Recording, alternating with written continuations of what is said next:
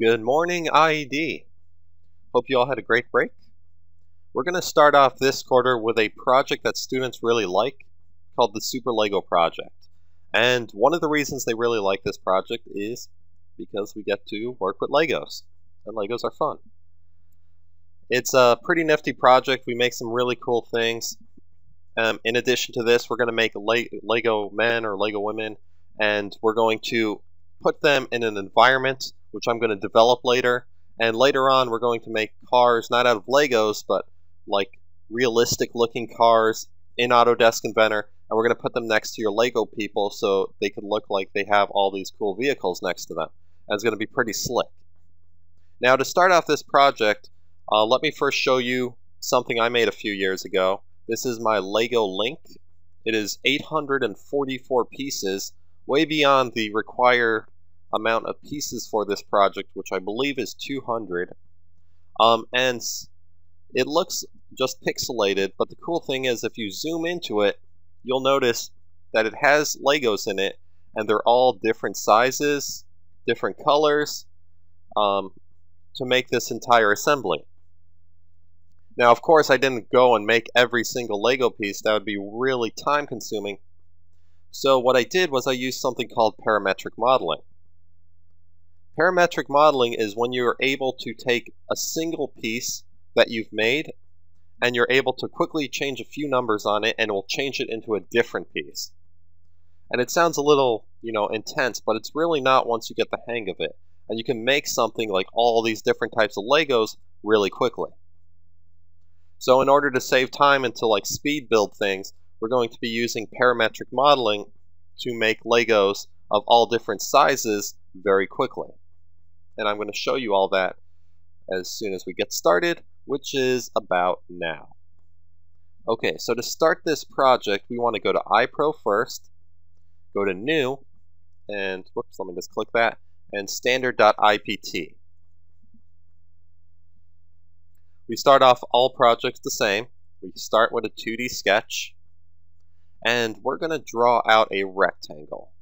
Um, this is going to be a rectangle for a 2 by 6 Lego piece.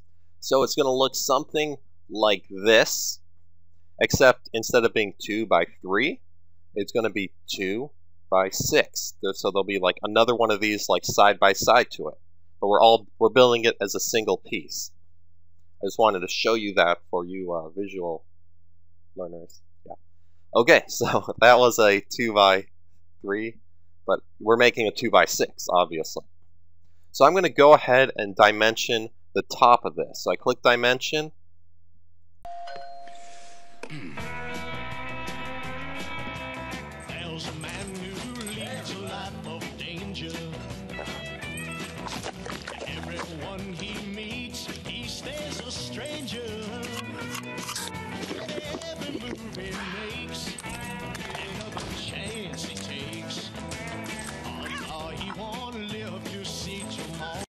The top.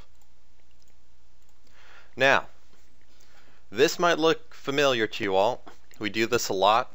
We always dimension things.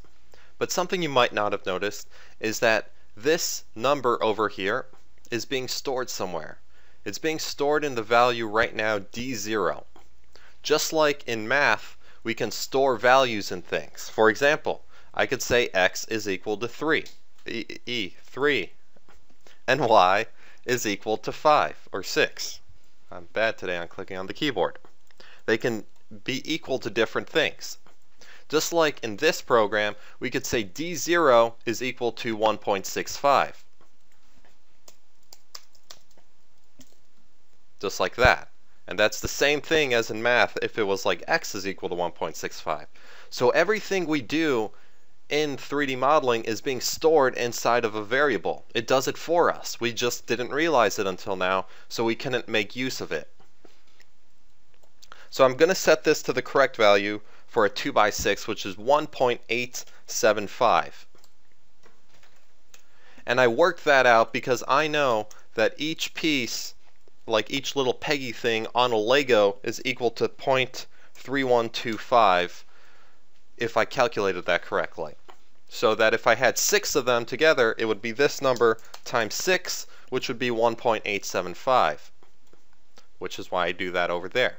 I'm also going to dimension the height, and you'll notice right away that this is no longer D0, it's D1. That's because this is D0. A, a single variable cannot hold two values. So D1, since this is only a 2, 1 and 2, we're only going to use 0.3125 times 2, which in our case is 0.625. So here is our 6 by 2 Lego piece. Now, let's go ahead and do some parametric modeling. I'm going to head over to the Manage tab, and then I'm going to go to the option here called Parameters. Inside of parameters, you should get an option like this. And lo and behold, it has every single thing that we've done so far, and it also states its value in terms of an equation, which in this case we don't have an equation, so it's just showing the value, as well as its real life value, which should be the same as the equation value because we didn't actually use any equations. Okay, hopefully you can all see that.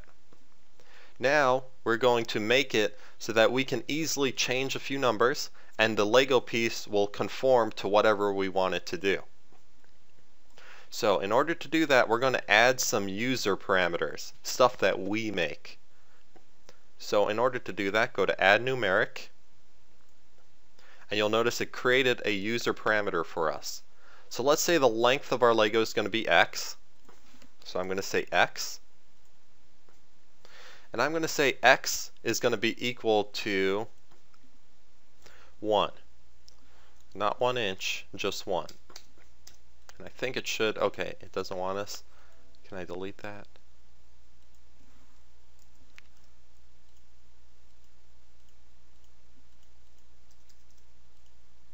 Cool. Um, instead, just make it one UL. Um, in order to do that, go to unit type, click here, and just type UL click OK, and then change it from IN to UL. Um, what that does is this makes it unitless. We don't want to multiply inches by inches because then we have inches squared, and that could potentially cause problems later on. So we're going to say x is equal to 1, and I'm going to add another numeric. I'm going to create y. This is going to be the width of our Lego. Um, it's also going to be equal to 1. Whoops, let me just do that.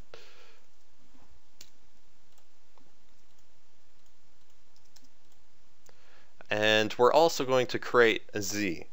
Z is going to be the thickness of our Lego, um, but we can't really see that because we haven't extruded it out yet. So I'm just creating it, um, you know, preemptively so that we have it set up so we don't have to create Z once we do that.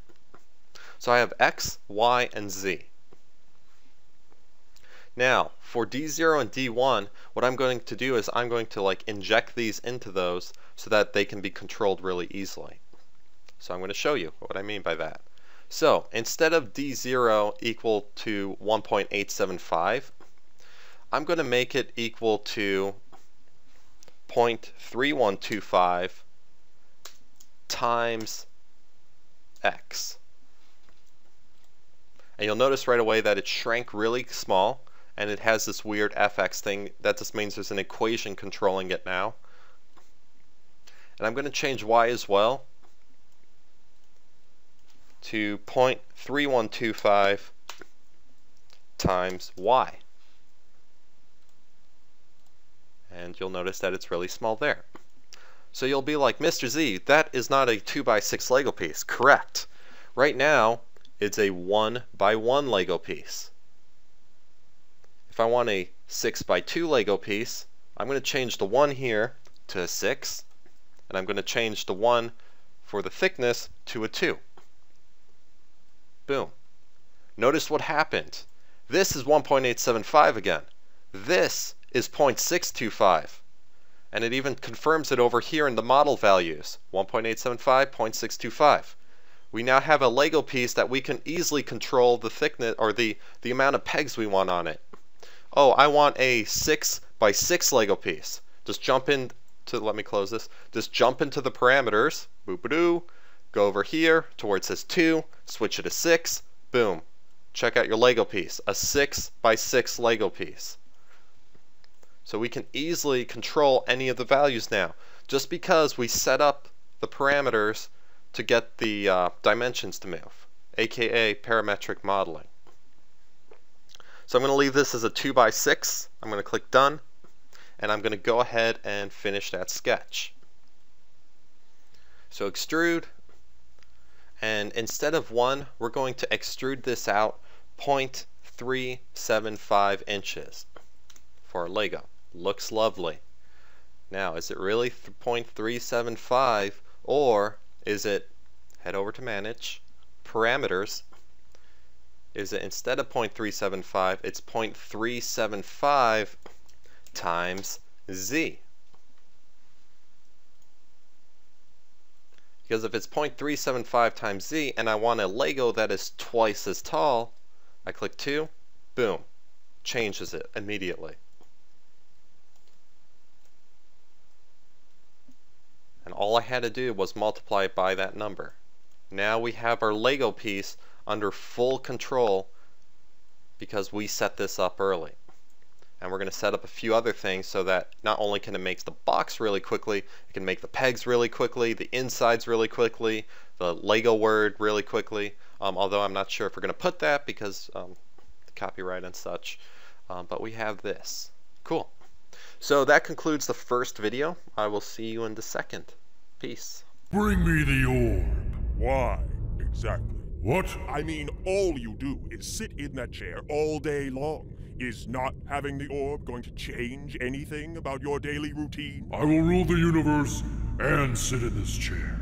So bring me the orb, boy. Why don't you get up out of that chair and make me? I can't get out of this chair. It's not my time. Plus, my legs are asleep. You're so weird, Thanos. Infinity War.